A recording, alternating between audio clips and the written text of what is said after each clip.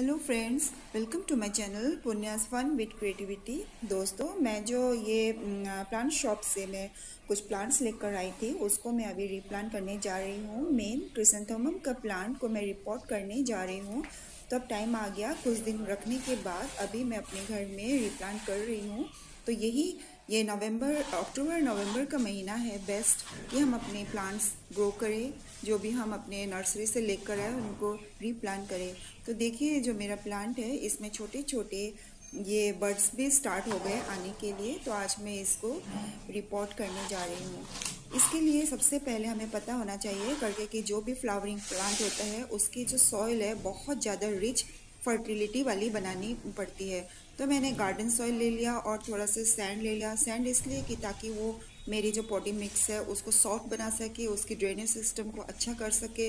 इसमें मैंने थोड़ा सा, इन दोनों के साथ थोड़ा सा मैंने गोबर की खाद मिलाई और साथ में मैंने इसको थोड़ा कंपोस्ट और भी डाला है, वर्मी कंपोस्ट का। तो फिर अगर आपके पास वर्मी कंपोस्ट नहीं है तो ये देखिए, मैंने वर्मी कंपोस्ट डाला है, बहुत ही सॉफ्ट रहती है। ये हमारी जो अर्थ वॉर्म होती है, उसके द्वारा बनाई गई ये कंपोस्ट होती है। अगर आपके पास वर्मी कंपोस्ट नहीं है तो आप पत्तियों की खाद भी डाल सकते हैं और साथ में नीम की खली भी डाल सकते हैं। क्योंकि हमें ये जो फ्लावरिंग प्लांट होते हैं, उसकी जो सॉइल होती है, बहुत ही ज़्यादा रिच फर्टिलिटी वाली बनानी पड़ती है। दूसरे जो पेरिडियल प्लांट हैं, जो हमारे फ्लावर्स नहीं देते इंडोर प्लांट्स हैं, उनके लिए इतनी सॉइल उनकी जो सॉइल होती है, उनको इतना रिच नहीं बनाने से भी चल जाता है। ओनली बस अगर हम गोबर की भी खाद डाल दें, तभी भी वो बहुत ही अच्छे से ग्रो करता है। तो सबसे पहले मैं क्या करूँगी, अभी रिप्लांट करने जा रही हूँ। तो थोड़ा सा जो मैं अपना अलग से इस सॉइल मिक्सिंग को निकाल लूँगी, क्योंकि जब मैं रिपोर्ट करूँगी रीप्लांट करूँगी तो जो साइड में जो इसमें डालने के लिए काम आएगा। तो सबसे पहले मैं क्या करती हूँ, जो ये जो प्लांट शॉप से लाई हूँ, उसका, उस पॉट को थोड़ा अपने हाथों से थोड़ा लूज कर देती हूँ दबाकर, ताकि वो बड़े इजीली निकल सके। और इस तरह मैंने निकाल लिया, और ताकि उसकी कोई भी रूट डैमेज ना हो। बहुत ही सॉफ्ट हाथों से उसे निकालना है। और इसे मैं डायरेक्ट नहीं डालूँगी। उसके जो साइड की जो मिट्टी है, नीचे की जो रूट की मिट्टी है, उसको मैं अपनी उंगलियों से धीरे धीरे निकाल लूँगी ताकि उसके नीचे की जड़ें थोड़ी ढीली होकर खुल सके, ताकि हमें जब हम सॉइल मिक्स में डालें तो वो अच्छे से ग्रो हो सके।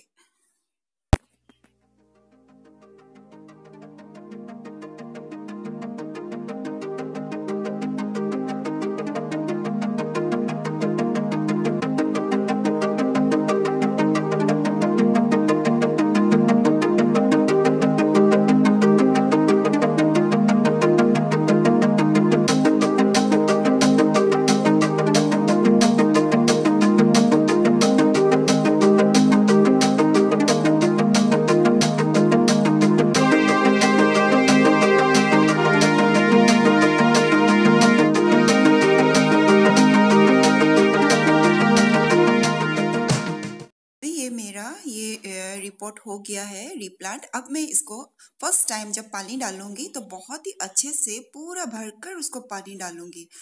तो फिर जब भी आप लोग प्लांट लगाए, फ़र्स्ट जब हम रिपोर्ट करते हैं तो पानी अच्छे से डालिए ताकि उसकी पूरी मिट्टी नीचे तक पूरी अच्छे से गीली हो जाए और जो एक्स्ट्रा वाटर है, वो ड्रेनेज होल से बाहर आ जाए। इस तरह हमें अच्छे से फ़र्स्ट टाइम पानी डालना है।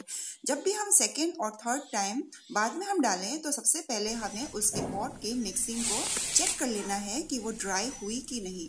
जब ड्राई होगी, तभी ही हमें नेक्स्ट टाइम पानी डालेंगे। ओवर वाटरिंग कभी नहीं करिए, ओवर वाटरिंग से बचिए। अभी मैं इस प्लांट को थोड़े दिनों के लिए शेड एरिया में ही रख दूँगी। अभी ये प्लांट को देखिए, मेरा दूसरा मैंने रिपोर्ट कर दिया है तो इसे सेमी शेड एरिया में रखूँगी।